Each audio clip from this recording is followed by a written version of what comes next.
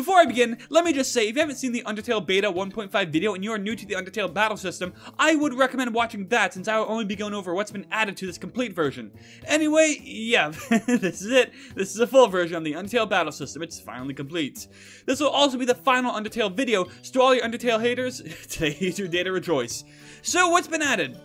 Pretty much everything I couldn't do before. Green or shield mode, pixel collision, death animations, animated attacks, and a special window skin for parallel dialogue. Let's get straight into everything. First is green mode. Set UTB mode to 2 and you'll be good to go. In this mode, the shield will destroy all attacks it makes contact with. You can set it up a custom sound effect and a custom image to use in the parameters. Next is Pixel Collision. You can have attack use Pixel Collision simply by setting Collision type to Pixel. This will make it so the player's sprite must have pixel perfect contact with the attack to cause damage. A death animation has been added, making things look a little better when the actor is defeated. You can now also give attacks animated frames. Simply set the attack's image to a sprite sheet that is made up of horizontal frames only. Then set the attack's animation frames to the number of frames in each image, and set the animation speed to the delay in frames you want for each image. Finally, the message system has been changed. You can now use a custom window skin and have the show text to display a similar type of dialogue to the Undertale. To do so, simply do this dot message, then the string within the two like parentheses within the UTB code note tag as usual, and it will show up during the attack.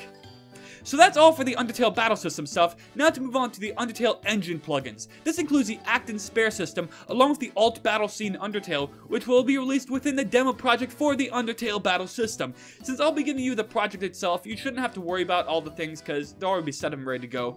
But I'll still explain everything anyway, so let's get straight into that. So to start, you want to make sure you have all four of these plugins in this specific order. The Alt Battle Scene Undertale, the Undertale Battle System, the Act and Spare System, and then the Escape Upgrade plugin that's right here shown at the bottom. Next, make sure you have the following images set up in your folder. So we'll go into image, some random dude, UTB, and you're gonna need the Command 1, Command 2, Command 3, and Command 4, which are obviously gonna be the buttons for the sprites, along with the heart-cursor image for the cursor for the actual battles and stuff. It's, that's pretty much it for the most part. Next, go into your database, and then go into your skills to set up your spare, and flee, and act skills. So pretty much in the act skill, set it up like this, make it so it's a scope of one enemy, no skill type, and give the act skill like this. Next, set up your spare skill, same thing, but this time make it all enemies, only battle screen, skill type mercy, input the scarce skill note tag thing right there, and you'll be good to go. Same thing with Flee. Once again, make sure you give it a skill type, and this skill type is going to be Mercy, your only skill type in the game. And also make sure it has a name of Flee, and you can just set up everything else you want to do. And also make sure it has a note tag, Escape skill, within its note box, just like this. Now finally, take note of the actual ID of the skill for your act skill like this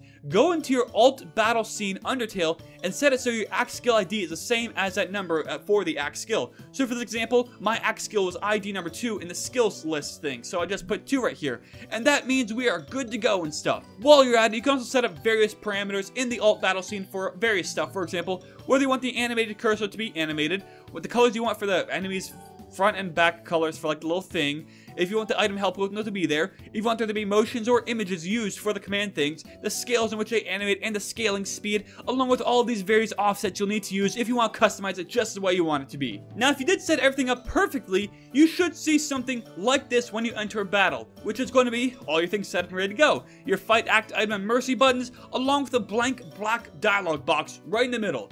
Next thing is, how to make it so dialogue appears, like passively, in that box. To do so, we have to go into the Troops tab. With the Alt Battle Scene Undertale, you can use the plugin command set battle text to set up the text that appears inside of that little battle dialog box that appears in the middle. So for example, on turn 0, we'll set it so it's going to be the Dark Lord strikes. Then in tab 2, we can set it so at every turn end, and at turn 1 plus 1 times X, we'll make it so, okay, so if the game, troop, any members are ready to spare, we'll set it so that the Dark Lord doesn't want to fight anymore. Otherwise, we'll set it so the Dark Lord strikes. Now we actually do a battle test with the Dark Lord, we'll find something that looks like this right here. it's showing up now, anytime now. Come on, there we go. So the Dark Lord strikes. But of course, if we make it so that the Dark Lord no longer wants to fight us by hugging the Dark Lord and he does this thing and we go through this entire thing right here, then at the very end it'll say the Dark Lord no longer wants to fight. Just like that. So that's all you have to do to set up and you do your various things. So just do it in this format. Turn 0, set up your initial battle thing. Turn number tab 2, and then at turn end 1 plus 1 times x, set up all the conditions that will occur depending on what happens at certain times to make sure the dialogue changes throughout the battle. So, yeah, that's simple, that easy. If you do it with the Dark Lord, did it with the Evil Donut, just like the Evil Donut strikes, and then the Evil Donut is no longer evil, or the sprinkles look delicious. Just like that.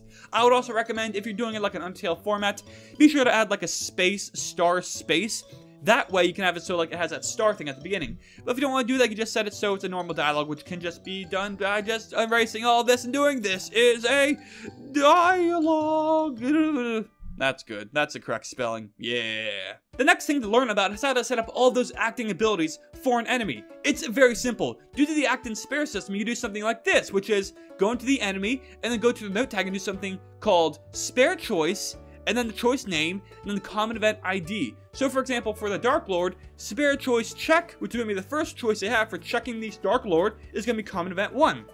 Next, spare choice hug is going to go to common event 2. If you want to change this to something else like, I don't know, grab, like that, that will change the name of the actual choice, but it'll still go to common event 2.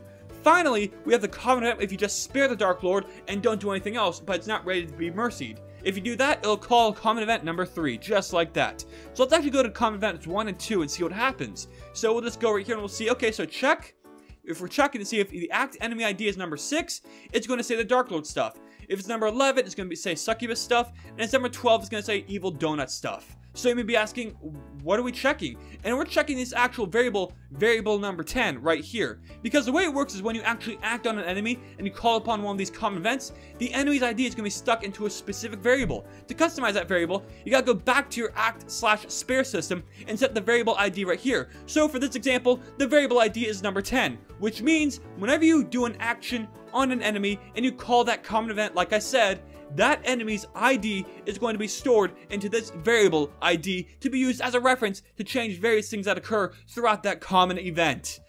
Oh, so yeah, so pretty much you can make so all the enemies have the same check common event. For example, if we go back to our enemies, we'll see that Dark Lord has check for number one, but also see that the Evil Donut also uses common event number one for the check choice. And that's because once you use it, you then check the enemy ID to base it off of what's gonna happen and stuff.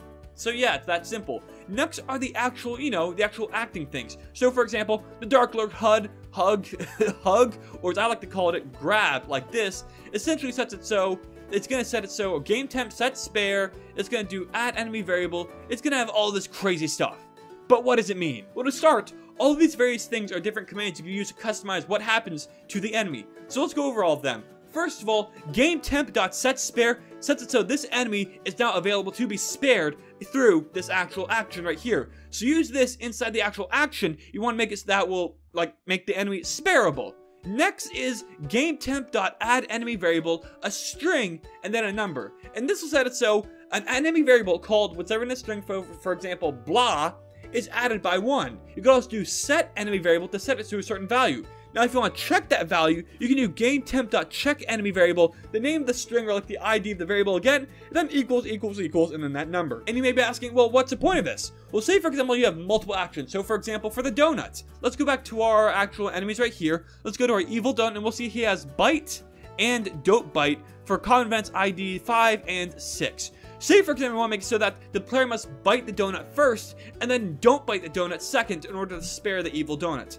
Here's how you'd make that work. First, go to our bite right here. You do, okay, we're going to do all this. Then we'll do a script call. And this script call is going to set a variable for the donut. So we'll go back to our Dark Lord right here, and we'll copy this code right here. So we'll set it so Dark Lord set enemy variable like this. So set enemy variable, call the actual ID of the variable bite like that, and we'll set it to a value of uh, I guess three for no reason whatsoever. So three, there we go. Next, we'll make it so that the Dark Lord Don't Bite has something different going on. We'll do something like, we'll do a check to see if the variable is at a certain position, and if it is on that position or a certain value, then something will happen. So we'll do this right here. So remember, the ID was bite, so bite. And let's see if it's equal to 3. So we'll do, let's go right here, we'll do equals equals equals 3, just like that. So now what we're going to do is we're going to remove this spare and set it underneath here. Now what's going to happen is, if the game temp check enemy variable bite is equal to 3, which we set up in the bite common event right here, then it'll do this, including spare the enemy. Otherwise, it will do this and not spare the enemy. So we'll say, you have spared, so you have spared. On the other hand, on this other one, we'll say you have not spared. So you have not spared. Just like that. And that's about it. The final thing to note is the escape upgrade plugin. It's just a small plugin I made. It lets you set a specific formula that's not based on the agility, so you just like remove this. Because, you know, in the Undertale system, the player always moves first, which means you want the player's speed to be as high as possible. But if the player's speed is as high as possible, that means you're going to have a very high escape ratio because, you know, the escape ratio is based off of the player's speed. Of course, using this plugin right here, you just set it so it doesn't rely on that by just setting it to 0.5, we'll make it a 50-50 escape ratio, and then go set to whether you want escape rewards or not after fleeing. I'd recommend setting this to true, that way, similar to the Undertale battle system, you can gain rewards after you spear the enemy and the enemy flees from the battle, and so you gain like gold and stuff. Oh, yeah. Oh, man. Okay, so that's about it. Download, the download to the Undertale Battle System plugin in the description of the video alongside this project I have right here, which is going to have all the Undertale stuff, like I, I, the Undertale engine thing going for it. Yeah, you can use it. Base your stuff off it. Oh, okay, well, that's all for now. So, until next time, bye forever.